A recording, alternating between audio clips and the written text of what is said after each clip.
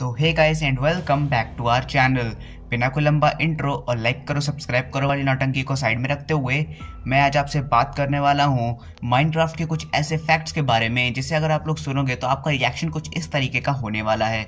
तो वीडियो का एंड तक ज़रूर देखना। अगर आप लोगों को इस वीडियो में कोई मिस्टेक दिखे तो उसे कमेंट बॉक्स में ज़रूर बता देना। मैं उसे अपनी अगली वीडियो में इंप्रूव ज़रूर करूँगा। तो without wasting any more time let's get started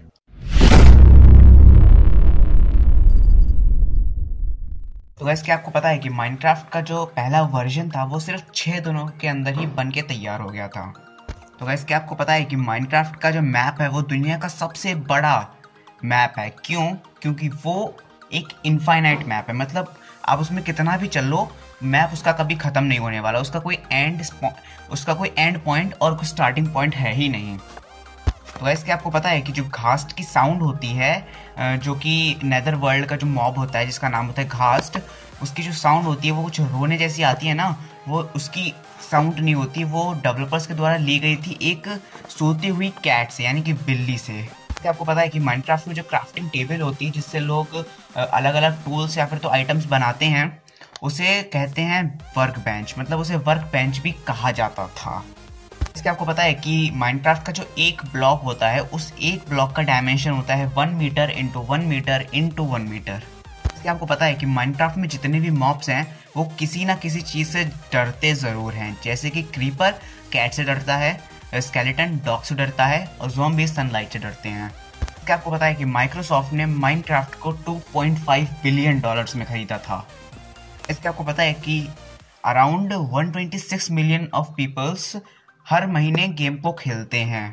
इसके आपको पता है कि माइनक्राफ्ट की तब से लेकर अब तक टोटल 200 कॉपीज बिक चुकी हैं। इसके आपको पता है कि माइनक्राफ्ट एक अच्छा सोर्स है एजुकेशन का। क्यों? क्योंकि हम लोगों को इसमें ऐसी कुछ चीज़ें पता चलती हैं, ऐसे कुछ कीवर्ड्स पता चलते हैं, जो कि शायद हमें नॉर्मल लाइफ में पता ना लगा पाए या फिर पता लग भी जाए तो हमको याद करना उनको थोड़ा मुश्किल हो। जैसे कि पिकैक्स हो गया हो सैडल लीड इस तरीके के कुछ कीवर्ड्स होते हैं जो काफ़ी ज़्यादा मुश्किल होते हैं लर्न करना। इसके आपको पता है कि जो एंडरमैन होता है, उसकी क्या, कौन सी लैंग्वेज होती है? मतलब किस लैंग्वेज में वो बात करता है? तो मैं आपको बता दूँ कि वो इंग्लिश लैंग्वेज में ही बात करता है, लेकिन उसकी जो पिच होती है, यानी कि मतलब मैं तुम्हें क्या बताऊँ, उसकी पिच होती है ना, वो थोड़ी लो होती है। इसके आपको पता है कि माइनक्राफ्ट का सबसे ज़्यादा रेयरेस्ट यानी कि सबसे कीमती चीज़ क्या है? तो मैं मैं आपको बता दूँ कि ड्रैगन एंडर ड्रैगन का एग यानी कि अंडा, सबसे रेयरेस्ट चीज़ है माइनक्राफ्ट की। ऐसा क्यों? क्योंकि एंडर ड्रैगन का जो एग है, वो सिर्फ़ तभी मिलता है जब आप एंडर ड्रैगन को मारोगे। और ये सिर्फ़ आपके पूरे वर्ल्ड में सिर्फ़ एक होता है। और एक ही बार मतलब एंडर ड्रैगन को मारने के बाद ही ये आपको मिल सकता है। और वैसे आपको पता है कि एमरल्ड और होती है ना, वो एमरल्ड से भी ज़्यादा रेयर होती है। एमरल्ड तो आप लोग किसी भी विलेजर से ट्रेड करके ले सकते हो, लेकिन एमरल्ड और आप लोग इतनी आसानी से नहीं ले सकते। वैसे आपको पता है कि माइनक्राफ्ट का एक दिन हमारी रियल लाइफ के 20 मिनट के बराबर होता है।